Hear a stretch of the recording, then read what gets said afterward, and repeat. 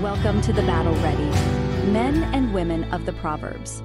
Please join Pastor Rodney Lavallie as he takes us through these rich biblical insights. Hey, God welcome bless. everybody. Uh, back tonight. Listen, uh, we've been talking about the men and women of Proverbs.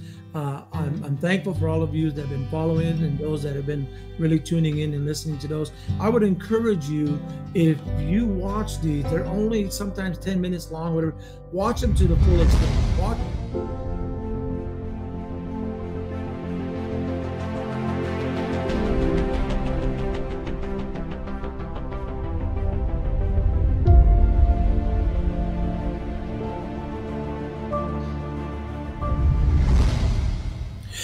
Hey, everybody, we are back again with Proverbs, uh, men and women of Proverbs today. And I'll tell you, we got a good one today. I'll tell you what, it's been a while.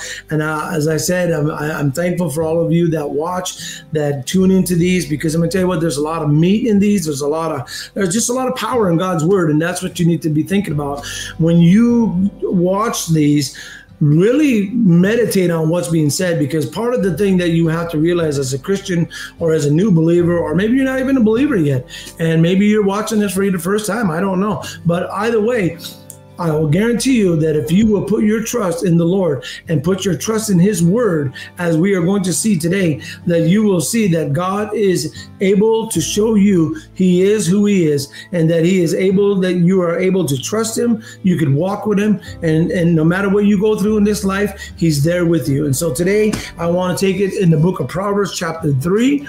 Um, We've been talking a lot about, you know, the wisdom of God, the power of God, um, and just all kinds of great things. I kind of went back today and reflected on some of the last proverbs that I had done, and so I felt like the Lord wanted me to skip over and keep going to uh, onto chapter three.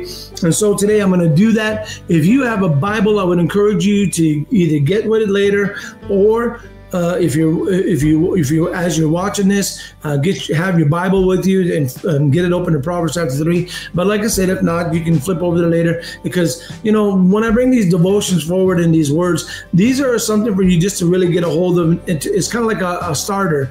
It's not meant for you to live on. It's not meant for you to to to think that well I did that today, I'll be good for you know, a couple weeks or a week or whatever it may be. No, it's it's important that you learn to get into these scriptures yourself and really uh, meditate on them and really uh, just just really study them and, and and and draw the richness of God's word out. And you'll see it makes a difference in your life. And so today I want you to keep in mind that we are going to talk about trusting in the Lord. And I'm going to tell you this sounds easy Many people say, Oh, I trust God, uh, but never thinking to themselves that they're going to have to trust God in a situation that seems impossible, or maybe a, uh, a trial or a difficulty in your life, in which we all have. But I have learned that it's easier to say I trust in the Lord than to actually have to trust in the Lord. And so we're gonna we're gonna look at a couple things today, and I want you to just follow with me today if you can. If not, go ahead and listen. But Proverbs chapter three. And uh, I already prayed up um, uh, before I got into this, so I'm going to just get right into the scripture. Proverbs chapter 3 and verse 1, he says, My son, do not forget my law, but let your heart, let your heart keep my commands. For length of the days and long life and peace they will add to you. Let not mercy and truth forsake you. Bind them around your neck, write them on the tablet of your heart, and so find favor and high esteem in the sight of God and man. Now, watch this.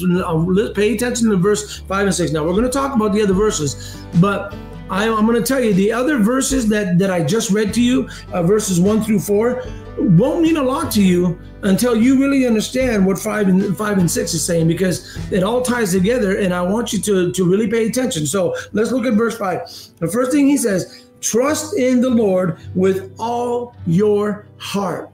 Trust in the lord with all your heart now watch this. And lean not unto your own understanding. In all your ways acknowledge him, and he shall direct your paths. Now, I want to stop there today because I'm gonna I'm, I'm gonna take this apart, and I want you just to pay attention, real close attention to the words and the things that are being said here. First of all, as we write, he says, My son, do not forget my law. Now, that's important to understand that one of the things that will help you to, to really learn to trust in the Lord is you got to learn to know the word.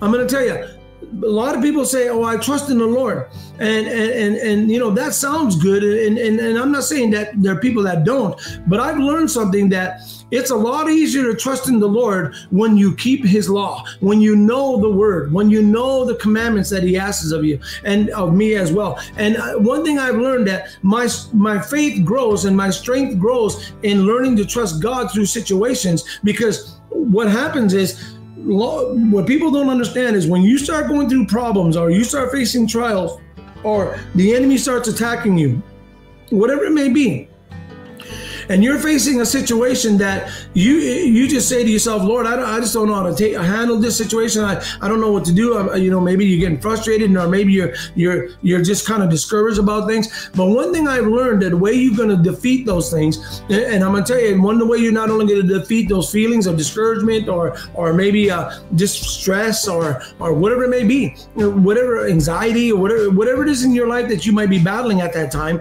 because we all battle different things. But I want you to understand this that the way you're going to combat those things is the word of God. The Bible says God gave us the word, and, and the word is is is uh, gives us the ability to be able to to to stand on God's word and see that it works because it's important that you get the word of God in, in, in, inside you and begin to just meditate on those things because what happens is you may not feel like the word of God is really helping you at at this moment, and you may say, "Well, I study and I do this and that and the other." But the thing is, are you letting it get down into your heart? And here's the thing that you have to understand: the word of God, you can you can study and you can you can memorize scripture, which is all good, but you have to put those things into practice. You know, we always say, well, I, I, trust the Lord, never thinking that we're going to have to learn to trust Him through something. But see, as we learn to get into Word, what happens when you face those situations and you face those tough things that come your way, because we all have them, the Word of God prepares you to meet those things. And the Word of God prepares you to trust in God. The Word of God uh, that helps you to say, you know what? I know that I can stand on God's Word. I know that I can stand because I've done it before and I've seen God's Word work. I've seen God's word uh, come true, and I've seen it over and over in my life. And what that does is it builds your strength and your faith to trust God even on deeper things and on uh, uh, diff- difficult times in your life. Or maybe there's, you know, I always tell people, I say, you go to a situation in a trial and you overcome that trial, there will come other things that will come your way and maybe a stronger trial next time. But you'll be prepared for it because you've learned to, to bathe in God's word. You've learned to trust in God's word. You've learned to say, Lord, I will take your word and hide it in my heart. And that's the thing you have to understand is because you learn to to take God's word and use it in your life every day. You you you use the word to meditate on. You use the word to, in, in your prayer time. You use the word as you stand on the word and pray for things. And as you pray for it, you stand and and, and quote those things and says, God, your word says this. Your word says this. You know, when you feel like I'll give you an example. One of the things that I've learned to do, and this is one of the scriptures I've learned to, to, to that I know I can trust in the Lord for this is when I felt like I couldn't achieve something, or I felt like I was just not, I was just not where I needed to be, and and maybe I was facing a situation that it was really tough. But what I did was I, I went back to Philippians 4:13. It says, "For I can do all things through Christ who strengthens me." Now, pay attention to this. When you learn to draw from God's word, God honors His word. The Bible says God honors His word even above His name because well you know his word is is is a name. You can't separate him. But but the bible does say he honors his word.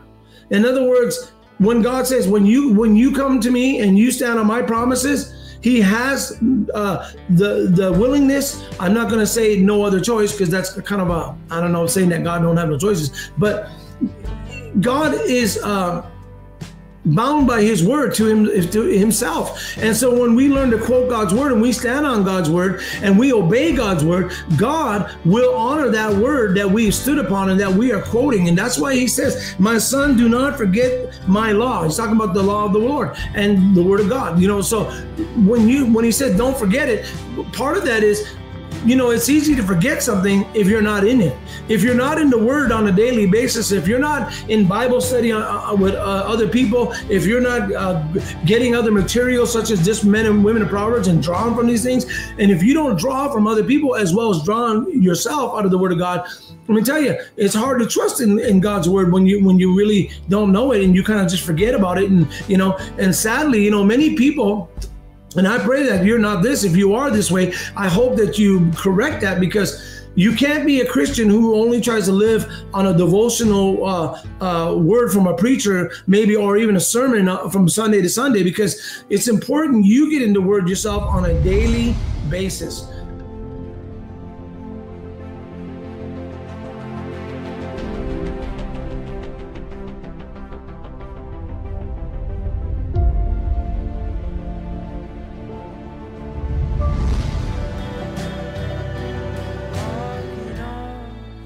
If you enjoyed today's podcast, we ask that you would consider supporting this ministry. You can be a part of sharing the gospel to the lost through your financial support. God bless.